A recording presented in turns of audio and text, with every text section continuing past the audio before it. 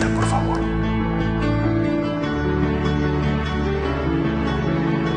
No deseo hablar de tus pecados, ni de tus defectos, ni sermonearte o hacerte sentir culpable. Solo quiero decirte lo mucho que te quiero. No me gusta verte triste ni enfadado con la vida. Yo deseo que seas feliz. No estoy nada lejos de ti.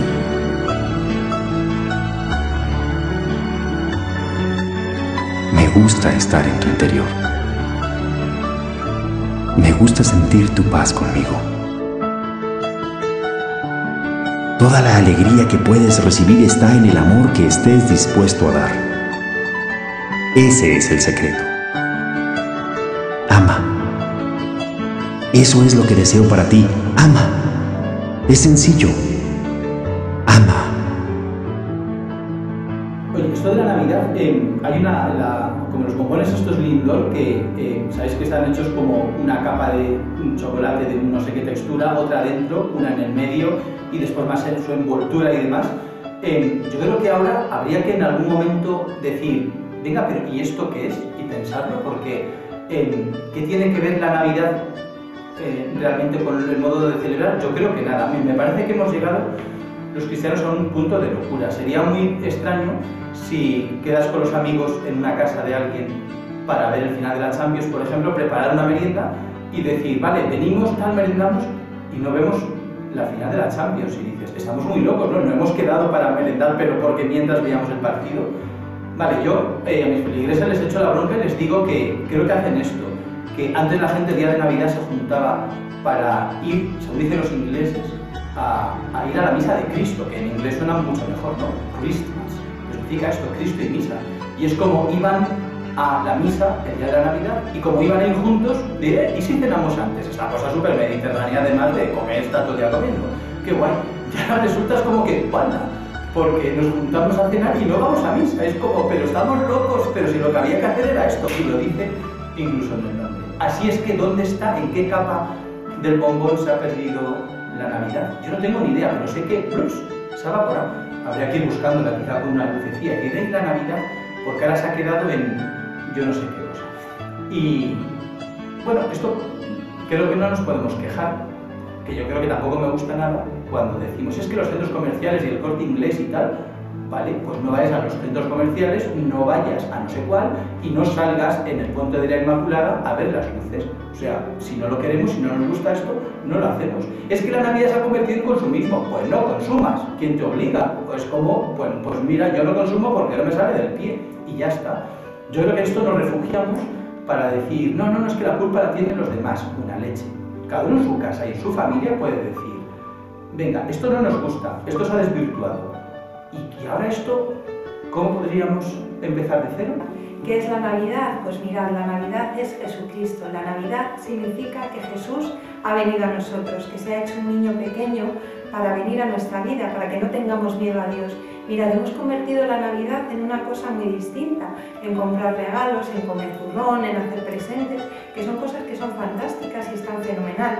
Pero si les privamos de su verdadero sentido, que es Jesucristo, nos van a dejar vacíos. ¿Por qué? Porque el único que llena nuestra vida es Jesús.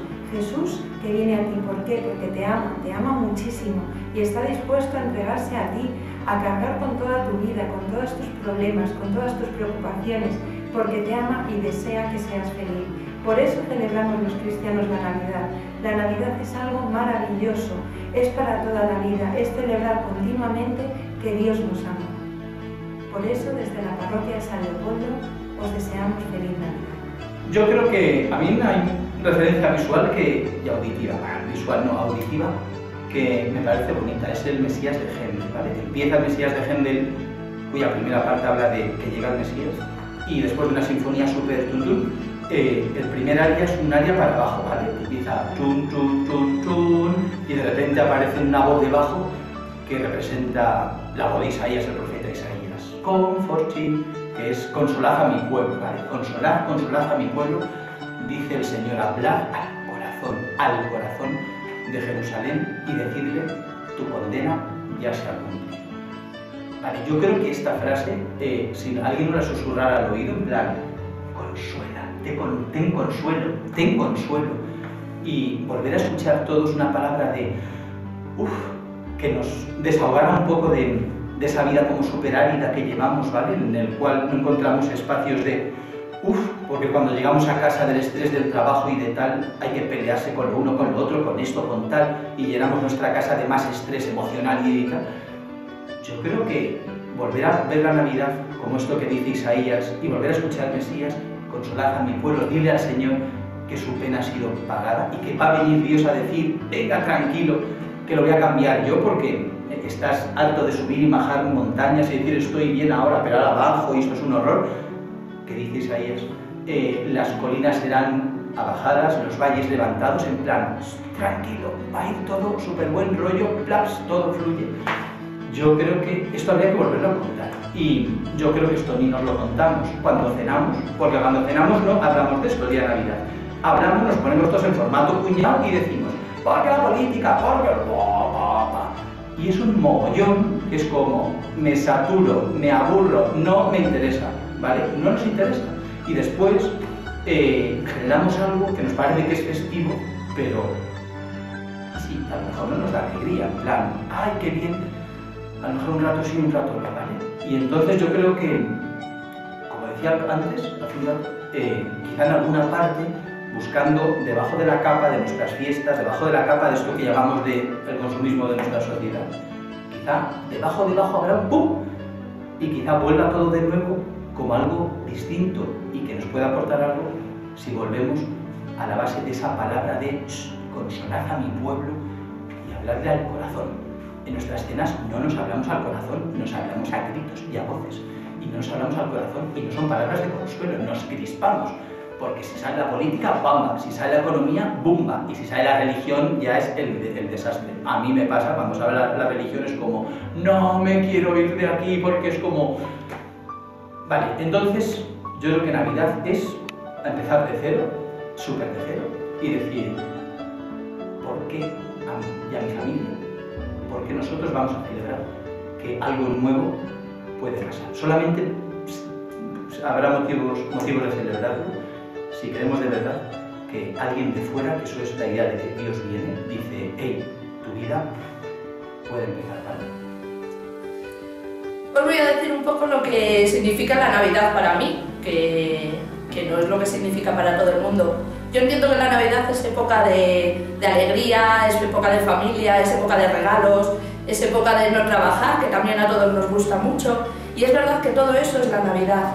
Pero estamos perdiendo el sentido de por qué celebramos la familia, por qué nos regalamos cosas, por qué nos juntamos con los amigos, por qué es tan divertida la Navidad. Y tiene un sentido muy claro, y es que en Navidad nace la persona más importante de este mundo, nace Jesucristo, que es nuestra salvación, que es nuestra familia, que es nuestra alegría y que es nuestro mejor regalo. Por eso la Navidad son todas esas cosas, porque Jesús viene a la tierra, Dios nos manda a su Hijo y se hace un niño para estar con nosotros, para iluminarnos, para guiarnos en el camino, para que nos agarremos a Él, a su esperanza, la Navidad para mí es el momento más bonito, más bonito, pero porque viene la persona más importante para mí, que es Jesucristo.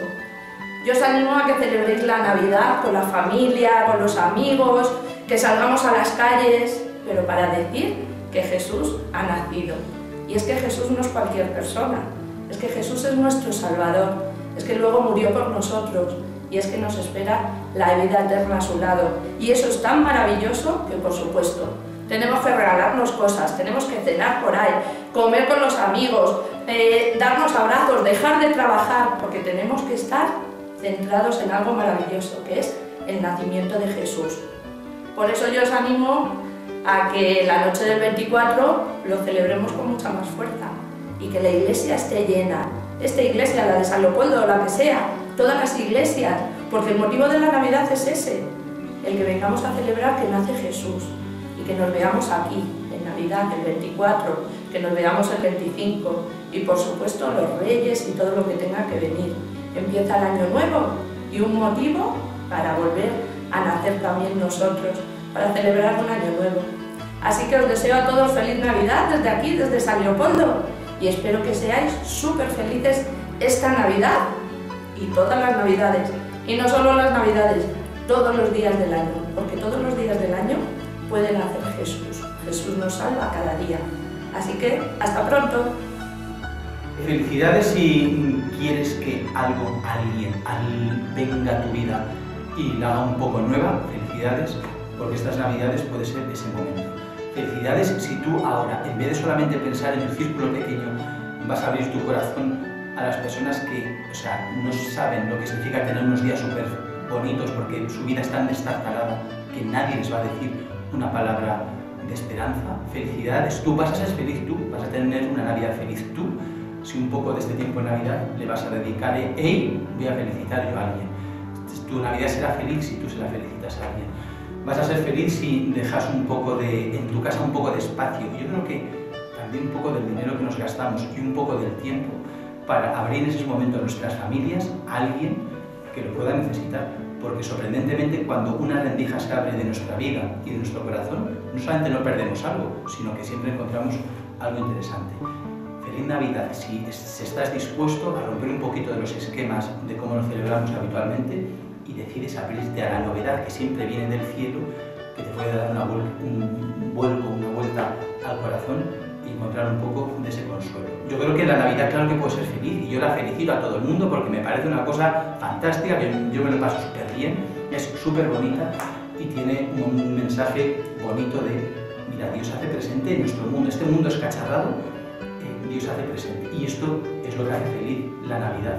Del siglo XIX, el siglo XVIII, los belenes se representaban siempre el misterio en medio de ruinas romanas, como diciendo, vayas cacharra de civilización tenéis. Y justo ahí, con todo destartalado de las piedras rodando, plas, precisamente ahí, se ponía a Jesús, María y a José. Si tu familia o tú nuestra sociedad estás cacharrada, no pasa nada. Igual descacharrada que lo era Pompeya, los restos de Pompeya en el siglo XVIII. Pero si tú estás dispuesto a que en medio de ese escacharre venga Dios a nacer, eh, entonces sí podrás decir y podrás entender y disfrutar qué significa una feliz Navidad.